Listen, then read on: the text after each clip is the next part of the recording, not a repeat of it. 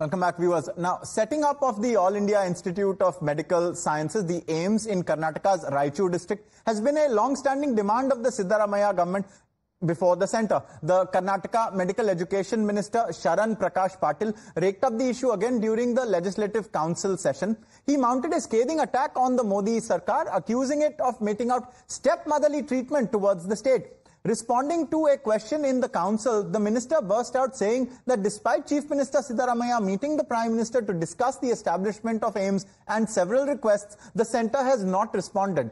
Patil also said he cannot understand why the central government is dilly-dallying when the state government is ready to provide basic infrastructure like land, power and other facilities. Let's listen in to his reaction.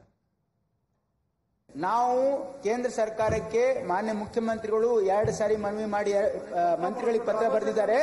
ಮೊನ್ನೆ ಪ್ರಧಾನ ಮಂತ್ರಿಗಳಿಗೂ ಹೋಗಿ ಇವತ್ತು ಮನವಿ ಮಾಡಿದ್ದಾರೆ. ಏನಂದ್ರೆ AIIMS ಅಲ್ಲಿ ಸ್ಥಾಪನೆ ಮಾಡಬೇಕು ಅಂತ ಪ್ರಧಾನ ಮಂತ್ರಿಗಳಿಗೂ ಕೂಡ ಒಂದು ಪತ್ರವನ್ನ ಕೊಟ್ಟು ಖುದ್ದಾಗಿ ಭೇಟಿ ಮಾಡಿ ಹೇಳಿದ್ದಾರೆ. ಇದು ಎರಡನೇದು. ಆಮೇಲೆ ನಾನು ಬೋಸರಾಜ್ ಅವರು ಎರಡನೇ ಸಾರಿನೂ ಹೋಗಿ ಇವತ್ತು ಹಿಂದಿನ ಸಚಿವರು, ಈಗ ಅವರಿಲ್ಲ ಚೇಂಜ್ ಆಗಿದ್ದಾರೆ. ಮನ್ಸುಖ್ ಮಂಡ್ವಿ ಅವ್ರಿಗೆ ಮೀಟ್ ಮಾಡಿ ನೀವು ಏಮ್ಸ್ ಅನ್ನ ಸ್ಥಾಪನೆ ಮಾಡಬೇಕು ಅಂತ ಅವ್ರಿಗೆ ಹೇಳಿದೀವಿ. ನಾವು ರಾಯಚೂರಲ್ಲಿ ನಾವು ಲ್ಯಾಂಡ್ ಕೊಡ್ತೀವಿ ಅಂತ ಹೇಳಿದೀವಿ. ಲ್ಯಾಂಡ್ ಐಡೆಂಟಿಫೈ ಮಾಡಿದೀವಿ. ಕೇವಲ ಇಡೀ ದೇಶದಲ್ಲಿ ಎರಡೇ ಎರಡು ರಾಜ್ಯಕ್ಕೆ ಕೇಂದ್ರ ಸರ್ಕಾರ ಏಮ್ಸ್ ಕೊಟ್ಟಿಲ್ಲ.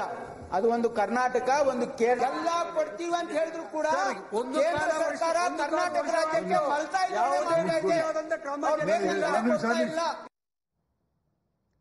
The AIIMS row has attracted political tension with a war of words erupting between the Congress and the BJP leaders. Accusing the Modi government of stepmotherly treatment, the Congress said that the centre's focus is only on North India and South India is discriminated against when it comes to tax as well as development. Let's listen in to the Congress point of view.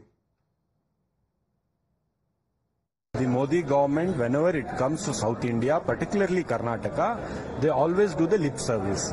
They said that they'll be coming up with AIIMS. They don't even bother to come and initiate the project. The same thing has happened in Madurai. South India is somewhat a second priority to BJP. BJP is purely based in North India. They discriminate against us in terms of taxes. They discriminate against us in terms of development. So we expect the Modi government to stop this stepmotherly treatment and start the AIMS uh, hospital as promised by them in Raichur. Karnataka में जब से कांग्रेस की सरकार बनी तब से वहाँ पहले खाद्यान्न के मामले में इस सरकार ने सौतेलापन किया फिर विकास के लिए मिलने वाले पैसे में सौतेलापन किया जहाँ जहाँ गैर भाजपाई सरकार है वहाँ केंद्र का रवैया नकारात्मक है और सौतेला व्यवहार होता है मैं उनकी बातों का समर्थन करता हूँ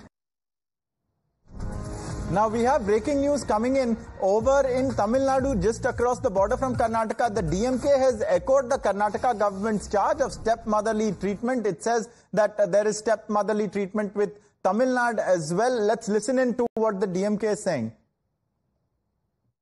DMK has always been raising voice for federalism and in particular fiscal federalism.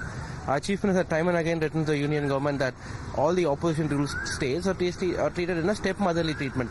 It's not about the GST dues that are getting delayed. Apart from that, um, a lot of the projects that are from the centrally sponsored schemes are given to BJP rule state.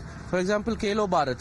Gujarat has been given 20 times more money than what has been given to Tamil Nadu and Karnataka. It's just an example. Any centrally sponsored scheme, right, or sectoral schemes, the, the BJP government is favoring BJP rule state. That was the DMK. Now back in Karnataka, BJP MLA Bharat Shetty has rubbished the allegations by the Congress, saying that there was no stepmotherly treatment towards the state. He said that there are standard operating procedures to be followed before setting up of the All India Institute of Medical Sciences. He also said that it was only under former Prime Minister Vajpayee's rule that the number of AIIMS had increased in the country. Let's uh, listen into what the BJP has said. There is a particular SOP, standard operating protocol is there. So some, uh, all these protocol has to be followed up regarding the land. They have earmarked the land, they are claiming that they have earmarked the land and all those things. There's a big procedure for starting AIIMS. See, when it comes to starting AIIMS, when the Congress government was there, you know in the country how many AIIMS was there. They started with one during that time and uh, Vajpayee had to come into power to increase AIIMS. Now after Narendra Modi's 10 years, You have uh, tripled, uh, the- more than triple uh, the total number of AIIMS. It's more than 15, 16 now, which is uh, already announced and all these things. Uh, regarding uh, Kerala and Karnataka, uh, in Kerala also there is some land issues was there. They changed the land uh, from one place to another place and there was some uh, protocol problem because there are technical issues here. If the technical issues are solved, I don't think there'll be a problem. There is no stepmotherly treatment of any states. Deepak joins us now. Deepak, tell us the face-off tug of war over getting an AIIMS in Karnataka. Surely everyone wants an AIIMS in Karnataka. What is the status?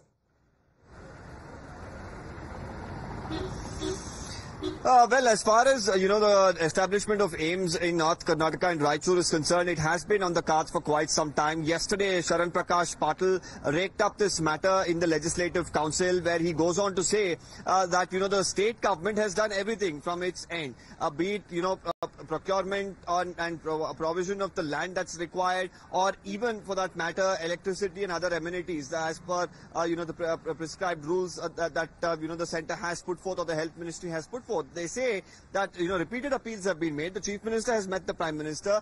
Uh, you know, the in charge ministers and the representatives from the government have gone and uh, met uh, you Right. know, the former Well, uh, Deepak, do hold on because we have breaking news coming in. We'll come back to you, viewers. Uh, the Supreme Court